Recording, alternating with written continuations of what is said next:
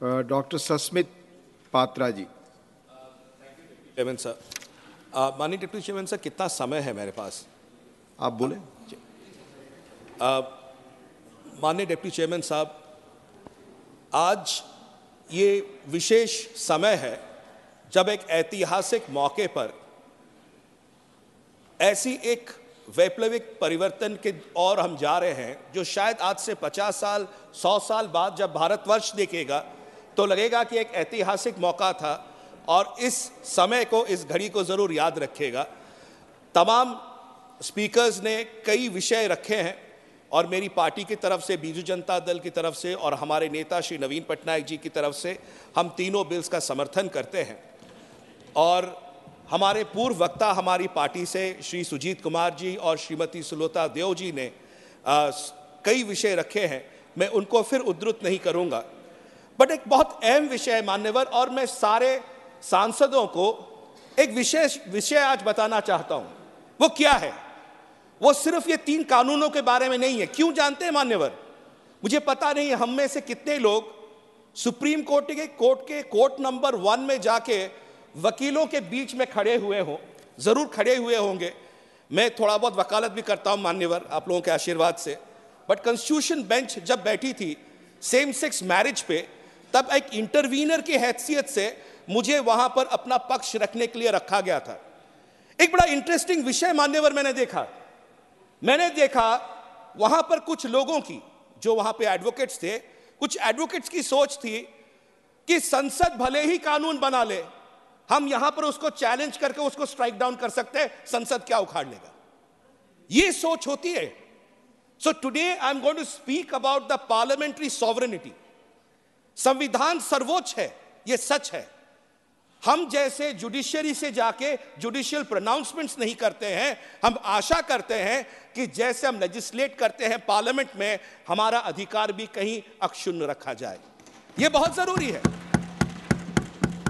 मान्यवर, वो same sex marriage case में मैंने जो पक्ष रखा था और आज सदन के सामने वो रखना चाहता हूँ, दो शब्द थे लेजिस्लेटिव कॉम्पिटेंस अगर आप इतने बड़े एक सामाजिक बदलाव को लाना चाह रहे हैं तो क्या सिर्फ़ एक पाँच जजों की बेंच निर्णय कर ले और 140 करोड़ की जनता पे उसको दे दिया जाए और कल से हर घर में या हर प्रदेश में और हर जगह सेम सेक्स मैरिज हो सकती है? तो मेरा आर्गुमेंट बहुत स्पष्ट था। इसको सदन को दे दिया जाए।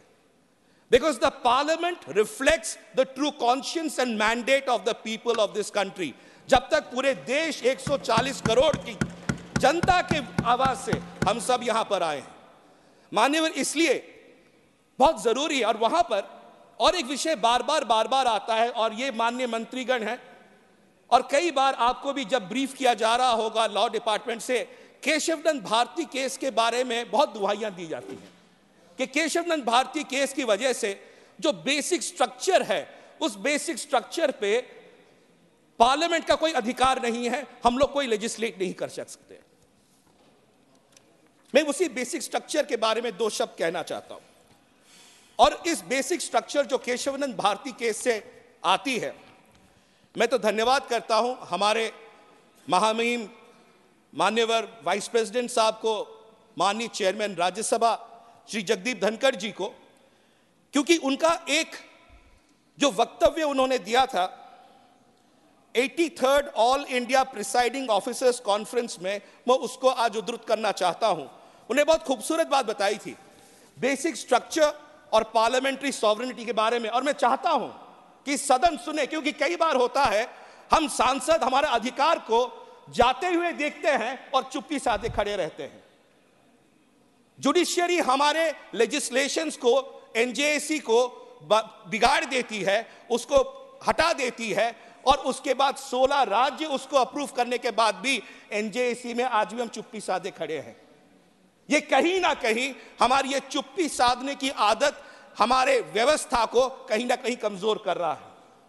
हम सांसद हैं, हमारा अधिकार बनता है हमारे 140 करोड़ जनता के लिए लॉस बनाना, आइन बनाना लेजिस्लेट करना।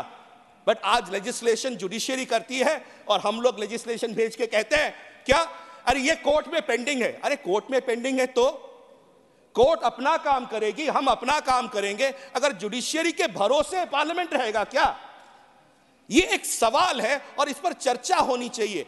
तो माननीय उपराष्ट्रपति जी ने जब 83rd all India presiding officers conference में बेसिक स्ट्रक्चर के बारे में और separation of powers, legislature executive और जुडिशियरी के मापदंडों पे एक बहुत खूबसूरत विषय बोली थी। मैं उसको आपके सामने रखना चाहता हूँ I quote democracy sustains and blossoms when the legislature the judiciary and the executive act in tandem and togetherness to fructify constitutional goals and realise aspiration of the people judiciary can not legislate in as much legislature cannot script a judicial verdict.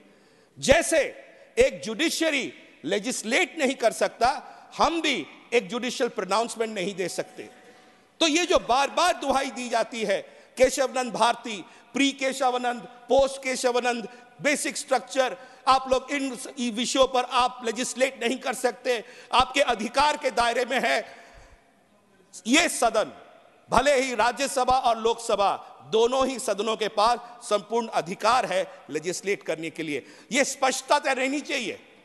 कई बार मैं सुनता हूँ सदन में, हम बहुत laws बना रहे हैं, बहुत कानून बना रहे हैं बट जब कानून बनाते हैं, कुछ सदस्य कहते हैं, कोई कोई भी पार्टी के हो, कहते हैं, सर, ये जो है, ये जुडिशियरी में लंबित है, ये जो है, ये कंटेम्प्ट ऑफ़ कोर्ट हो जाएगा अरे सदन can the parliament ever stand in contempt of court can the court give us right and directives ये भय कैसा? है हम अपने अधिकारों को छोड़ रहे हैं, इसीलिए वो अधिकार वहाँ जा रहे हैं।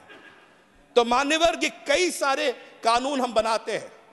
और विशेषकर आज के इस दिन में, मैं आपके माध्यम से, सरकार से भी कहना चाहता हूँ, मज़बूत बनिए। ये सदन ये सांसदों का सदन, ये 140 करोड़ जनता की आवाज़ है। वो आवाज़ का फैसला पाँच जज बैठ के कॉन्स्टिट्यूशन बेंच में नहीं तय कर सकते। वो शायद अपने जजमेंट्स दे सकते हैं। बट हम अगर हमारे पावर्स के बारे में इतनी आराम से हम छोड़ना शुरू करेंगे और हमारे पावर्स जाते रहेंगे, आप मंत्रालय में बैठ के जो कल नियम बनाएँगे, कल वो स्ट्राइक डाउन हो जाएगा जुडिशियरी में। कितनी बार दौड़ेंगे? इसलिए मान्यवर, मेरा समय समाप्त हो रहा है, मैं ज़्यादा वक्त नहीं लूँगा। यही कहना चाहता हूँ। मैं सदन से आग्रह करना चाहता हूँ।